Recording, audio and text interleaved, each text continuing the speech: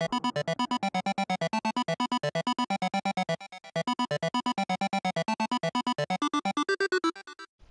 what is up everyone? This is Private Mittens and today I'm going to be doing my third installment to the video game comeback series.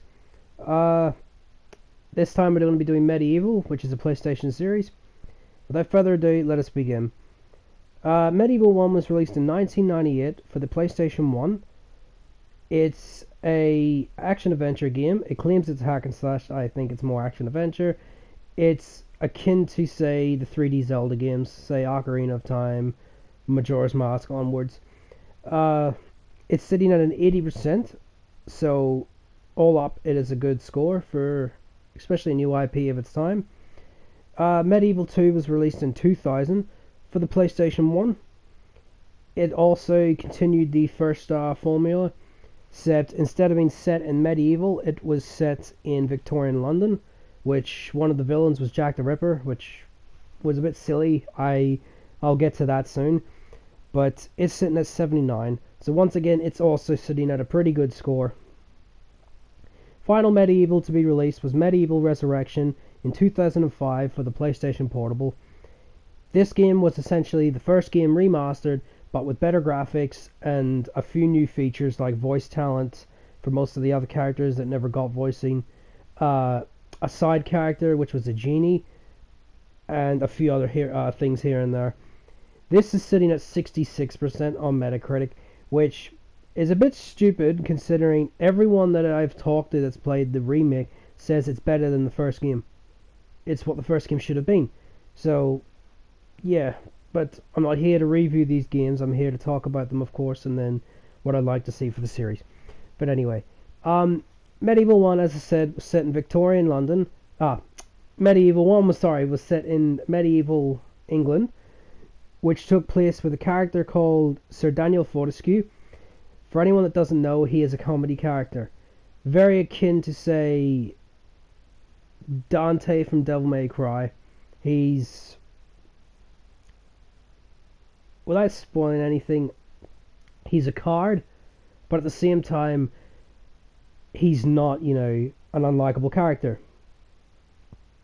Uh, MediEvil 2 was the same thing, except I think MediEvil 2 wasn't as good as the first game. I think a lot of people agree on that as well. And it's set in Victorian London, as I stated, and I think was a pretty silly idea for the series to go to. And there's not really much to talk about Resurrection because it's just the first game remastered. But these games were made by Cambridge Studios. Now, I talked about this uh, company with Devil a few, it might have been about two months ago. Sony closed this uh, developer down.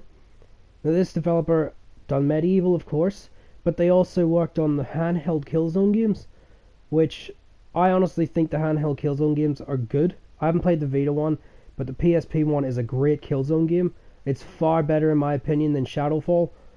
But uh, they closed them down that's going to go in towards what I I'm going to talk about what I'd like to see in that there but let's get to the actual my thoughts of what I want to see now since Cambridge Studios isn't gone the chances of see, us seeing a MediEvil game is very very slim I mean we've got a better chance of Microsoft releasing a Gex game than we have of getting MediEvil but uh, I think the safest bet would be to release 1 and 2 remastered on PS4 or the Vita, which would be, you know, improved graphics, uh, graphics of course, better camera, better gameplay, you know, all around just a better game, like what Crash Bandicoot is getting at the moment.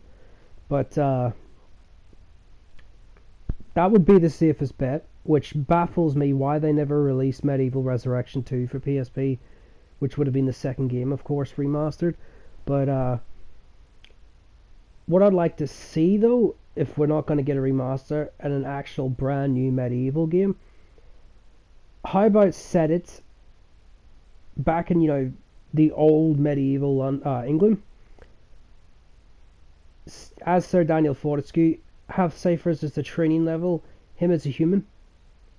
Then it goes into you know what he because you know, for anyone that hasn't played it, if you've seen the front cover, you know he dies and comes back. But uh, how about new weapon sets new armor sets, new magic, stuff like that there, increase upon that there. Now, this may be a bit controversy. Have an open world. Now, I'm one that doesn't like open world games anymore because they're just fucking a dime a dozen. I would love to see this series put open world because I think it would benefit the series. Have, for example, very not little bits and bobs of stuff on the map here and there. About it? You've got like this huge castle. For anyone that's played 3D Dot Game Heroes, a map like that set open world where you know you've got your different terrains, your different you know difficulty spikes in different areas because of you know the area you're in. Something like that there for MediEvil, or you know just something like that. Not Zelda's you know way it's always been open world, where it's been a corridor. You know, big little area corridor. You know, likes to say Ocarina, Twilight Princess, and that there.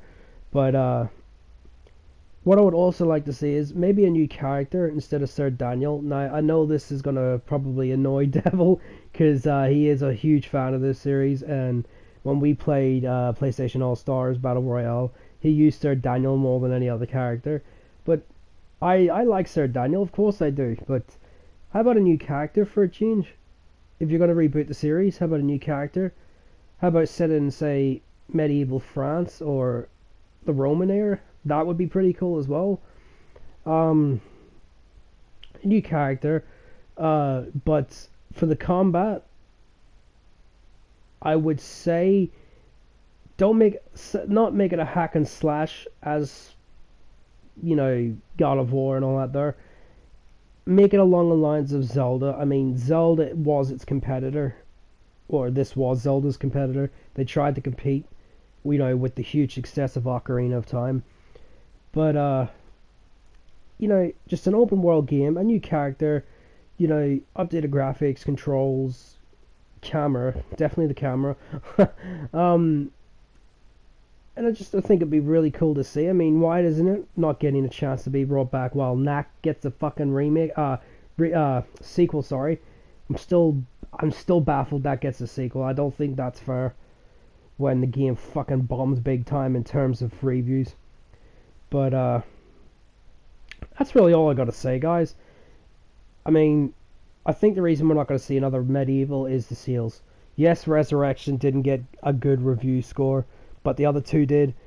But it's the it's the seals. This series has not really sold that well, so that may be the reason why. But anyhow, that's episode three, guys. I hope you enjoy. Let us know in the comments what you think about MediEvil. If you like the series, you've played it. Um, the next episode, I will be doing the Fear franchise, and the reason I'm telling you that it's Fear instead of keeping it, you know, secret like I did with these ones is because I I was playing Fear again on PS3 uh, uh, like last year.